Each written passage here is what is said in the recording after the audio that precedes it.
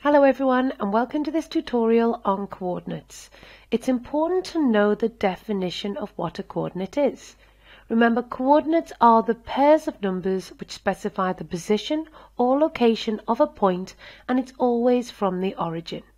Remember the first value of our coordinate identifies the x value and the second value of our coordinate identifies the y value.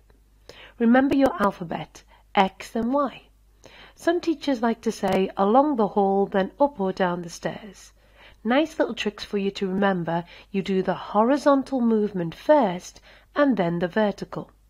So let's jump to some exam questions. Here the question wants us to write down the coordinates of A and write down the coordinates of B and plot on the grid a particular coordinate.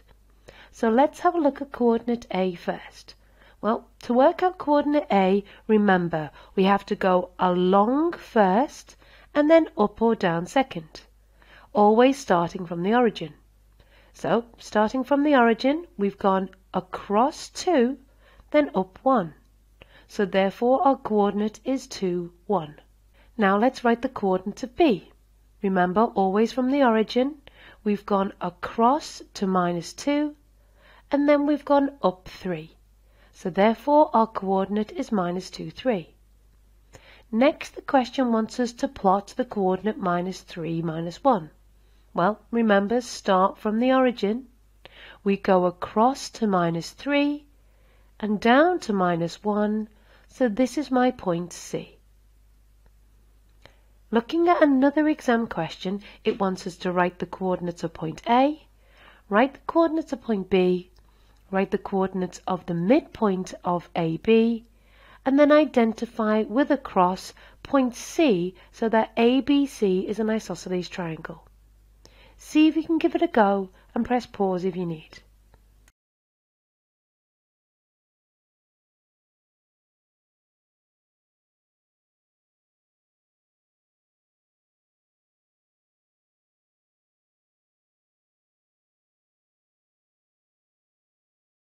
So writing down the coordinates of A, remember we start from the origin. So we've gone across 2, up 1, so the coordinate is 2, 1. Writing the coordinates of B, remember we start from the origin. Well, we haven't gone across any, so it's 0, but we've gone up 5, so it's 5. Now we're asked to write down the coordinates of the midpoint AB. So let's draw a line. Drawing our line, you might be able to spot our midpoint quite easily. So the midpoint is identified as from the origin 1, 3. So that's the coordinate of the midpoint of line AB. Now we're asked to mark with a cross a point C so that ABC is an isosceles triangle. Well, there are many different answers to this, so let's see how you got on. Firstly, let's use AB as one of our equal lengths. So therefore, drawing another equal length, you can see we've got an isosceles triangle. Therefore, we could say point C is 4, 5. Now let's have a look at another point. Well, you could have put point C here, whereby we have A to B is equal length to B to C. So therefore, could have had the coordinate 4, 7. Another point you could have had is 5, 5. Another point we could have had is 3, 4, where BC is equal length to AC. And the last point you could have had is the coordinate 7, 6, where you can see BC is equal length to AC.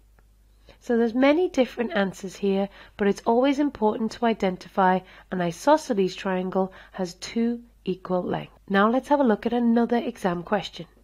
Here the question states that the points minus 3, minus 1, minus 2, 2, and 3, 2 are three vertices of a parallelogram.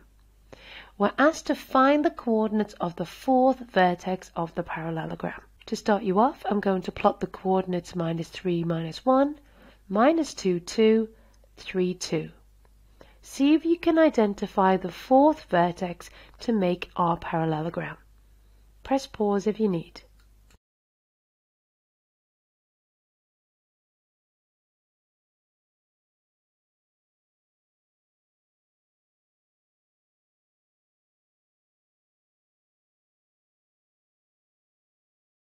Like I always say, the great thing about mathematics is there's always more than one way to find a solution.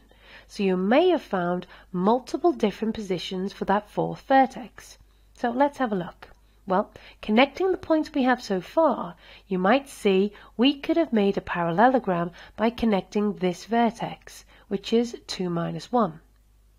Another vertex you could have identified is when connecting these points, you could have made your parallelogram using this vertex, which is the coordinate 4, 5.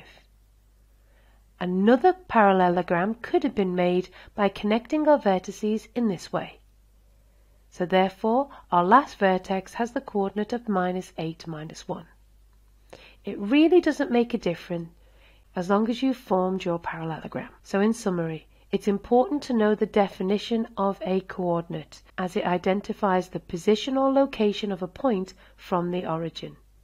And remember, some exam questions allow you to have multiple different answers, as long as you understand the properties of the shape that it wants you to plot. If you like this video, please give us a thumbs up. Leave your comments down below and subscribe to this channel so you'll be the first to know when we release our next videos.